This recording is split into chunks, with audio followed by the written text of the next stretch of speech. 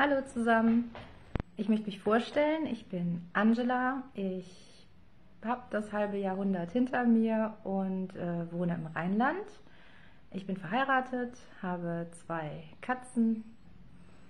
Ähm, ich habe mich als Kind schon für die Nähmaschine von meiner Mutter interessiert, nur die stand mit ihrer auf Kriegsfuß und konnte mir nichts beibringen, also habe ich da nicht viel mitgemacht habe dann lange nichts gemacht, weil es gab ja auch, damals hatten wir ja nichts, ne? es gab ja kein YouTube und irgendwelche Online-Anleitungen und äh, wenn du keinen hast, der, der dir das zeigt, dann wird das halt nichts.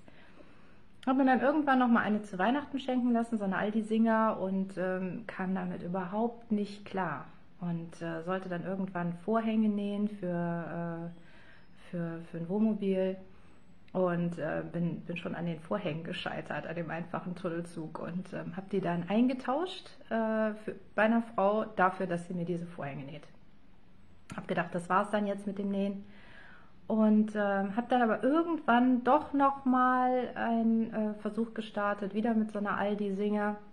Und damit bin ich ganz gut klargekommen und dachte, okay, dann mache ich mal einen Nähkurs. Und da habe ich dann gelernt, so, äh, so einfach mal so eben nähen geht nicht. Das ist alles ganz furchtbar kompliziert und tausend Schritte und man muss rechnen und alles ganz akkurat und du kannst nicht einfach mal so eben, ja. Also ich war kurz davor aufzugeben und dann habe ich aber das Internet entdeckt, äh, beziehungsweise das Internet kannte ich schon vorher, aber dann habe ich Online-Kurse entdeckt und YouTube-Anleitungen und irgendwann dann eben auch Kitesurf. Und da war ich Feuer und Flamme. Ich so, ja, das ist super, das ist genauso, wie ich das gerne hätte. Das ist nicht so, ja, so abzirkeln und da noch ein 3 mm oder so, sondern so, ja, wird schon passen und wenn nicht, dann machen wir es passend. Und ähm, ja, das war super und ich fand Svenja toll und äh, auch die, die Kaizo-Gruppe, die, die Online-Gruppe bei Facebook.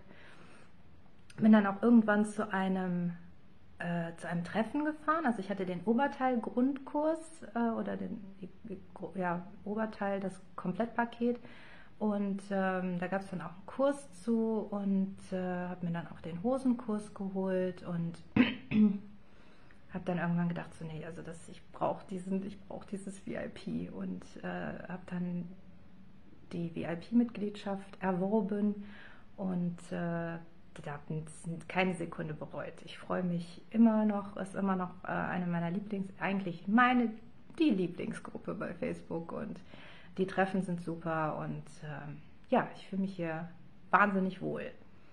Und jetzt mache ich bei der NeWG mit und ich bin ganz stolz, dass ich ausgewertet, aus, ausgewertet, hm, ausgewählt wurde und ähm, ja, hm, wir sollen euch ja unsere ähm, unsere Entwürfe zeigen. Und ähm, das ist auch etwas, wo ich äh, mich nicht ganz so wohl fühle, weil ich nicht richtig gut zeichnen kann.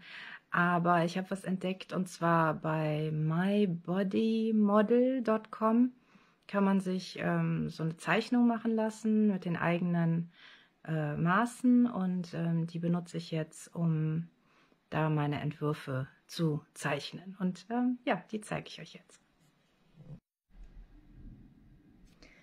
Also, als erstes habe ich mir mal meine Maße hier vorne reingeklebt, damit ich nicht immer nachmessen muss. Ich hoffe, dass sie sich in den nächsten zwei Wochen nicht verändern. Das ist immer so ein bisschen mein Problem. Meine Schnittmuster passen immer nur für eine gewisse Zeit und dann nehme ich entweder 10 Kilo zu oder ab. Und ähm, ja, äh, ich muss immer neu messen. Das sind jetzt so mehr oder weniger die aktuellen Maße. Ich nähe sonst eigentlich, ich bin so mehr der Jeans- und T-Shirt-Typ und ähm, nee, sonst eigentlich gerne sowas wie Easy Peasy oder so. Und wollte mich jetzt mal an Kleider und auch an Webware ähm, wagen und dachte, Leinen wäre schön. Schöne Leinenkleider oder Leinenklamotten für den Sommer. Hier habe ich mal ein ähm, ja, etwas längeres ähm, mit einer wo die Taille hier angesetzt ist und gekräuselt. Ich brauche auf jeden Fall Taschen. Ich würde auch gerne mal einen ähm, V-Ausschnitt machen. Das ist auch nicht so das, was ich sonst so mache. Und ähm, ja, jetzt kommen so ein paar ähnliche Kleider, wo ich immer überlegt habe, wo ich denn die Taille hinsetze. Da ist es ein bisschen höher und hier vorne, das soll eine Kellerfalte sein. Vielleicht auch ähm, so tief ausgeschnitten, dass man eher noch äh, einen Top oder sowas drunter trägt.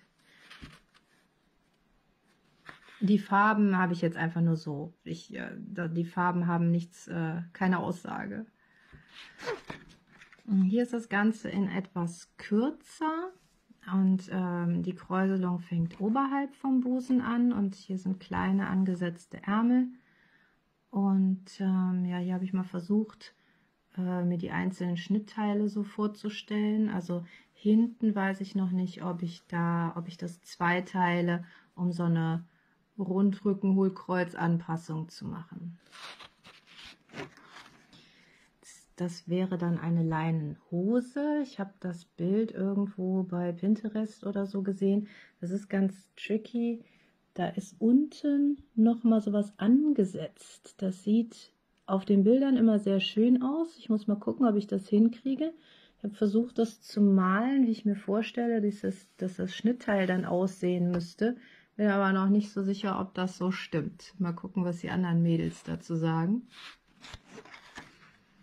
Ja, das wäre ein Oberteil, was so gebunden wird. Also diese langen, diese langen Teile vom, vom Wickeloberteil werden dann im Rücken gebunden und äh, machen hier gerade da, wo mein Hohlkreuz ist, äh, glaube ich, ein ganz, eine ganz schöne Silhouette. Ähm, aber natürlich nicht in diesen Farben. Das habe ich, wie gesagt, ich zeichne mich so vor mich hin. Hier habe ich mir das mal so in schwarz vorgestellt.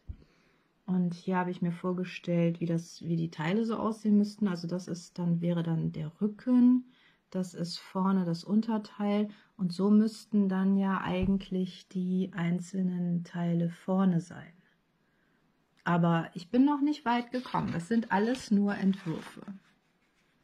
Die Wickelgeschichte hat mich nicht losgelassen. Das wäre natürlich eher nicht für Laien, sondern für was Weichfallendes.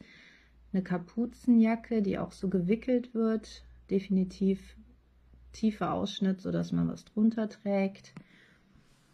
Und da habe ich auch mir überlegt, wie die einzelnen Schnittteile wohl so aussehen müssten. Also ich hoffe, dass ich bis zur NeVG noch ein paar Probe Teile machen kann, dass äh, ich da ein bisschen mehr weiß, wenn es denn soweit ist. Ja, das ist, äh, soll in Wirklichkeit natürlich nicht so durchsichtig sein, aber mir gefällt dieses asymmetrische Zipfelige ganz gut. Und auch hier mal ein anderer Ausschnitt mit zwar so, so wie ein runder V mit noch einem kleinen V vorne dran. Ähm, das würde ich dann wahrscheinlich mit einem Beleg machen. Das wäre auch ein bisschen Neuland für mich.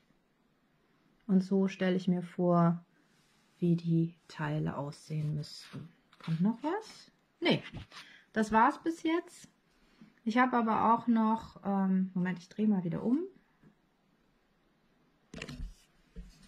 Hallo? ich habe aber auch noch äh, Pläne für ähm, ein Jäckchen, definitiv ein Jäckchen und äh, ich arbeite gerade an meinem aktuellen ähm, Etui-Schnitt. Da würde ich auch gerne was mitmachen. Und wie gesagt, ich schaffe natürlich nicht alles. Mal gucken, was davon in welcher Form dann äh, bei der NEWG ins Leben tritt und bei der Modenschau präsentiert wird. Ich freue mich ganz doll und ich hoffe, es gucken dann viele zu und schreiben Kommentare und gewinnen DVDs und was es da alles gibt. Und ähm, ja, ich bin gespannt. Bis dann. Tschüss.